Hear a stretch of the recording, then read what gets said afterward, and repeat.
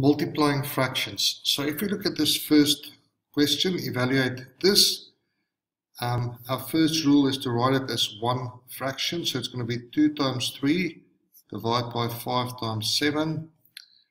Then I'm going to um, simplify before I multiply, which means I'm going to see if there's anything that can cancel or that can divide both bottom and top.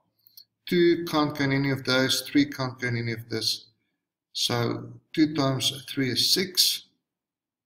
5 times 7 is 35. And this will be your answer in simplest form.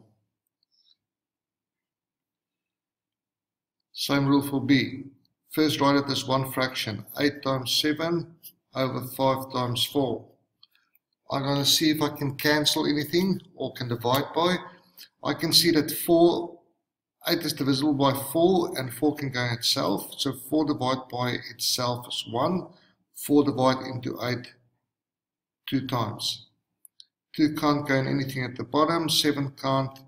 So I can then multiply. So I simplify before I multiply. 2 times 7, 14. 5 times 1 is 5. Because they didn't see this 8 over 5 is an improper fraction, then I'm going to leave my answer in an improper fraction unless the question say leave your answer as a mixed number. But because they gave us an improper fraction at the start, we can leave our answer in improper fraction mode. Right, the last one. Please don't try and do this as a mixed number. Always write as a improper fraction uh, as a improper fraction first.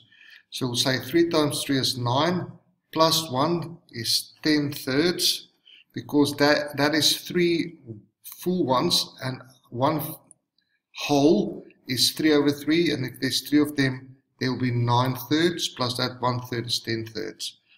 Times 2 times 5 is 10 plus 2 is 12 over 5 oh yeah 12 over 5 I'll then write it as one fraction, so it's going to be 10 times 12, top with top, bottom with bottom.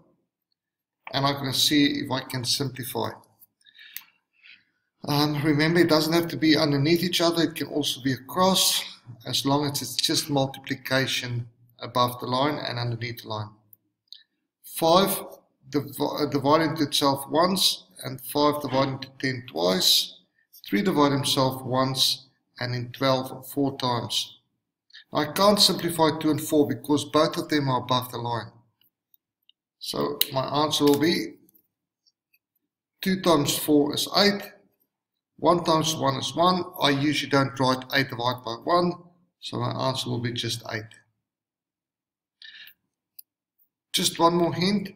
If you ever get a fraction, if you always, anytime have to multiply a fraction with a whole number. So I'm just going to add d here at the bottom. And let's say we have 2 thirds times 6. The hint that I can give you is if you have a whole number, always split across or over 1. 6 divided by 1 is still 6. So I'm not changing the value, but then it's clear to see what goes where. So if you have a whole number, always split over 1.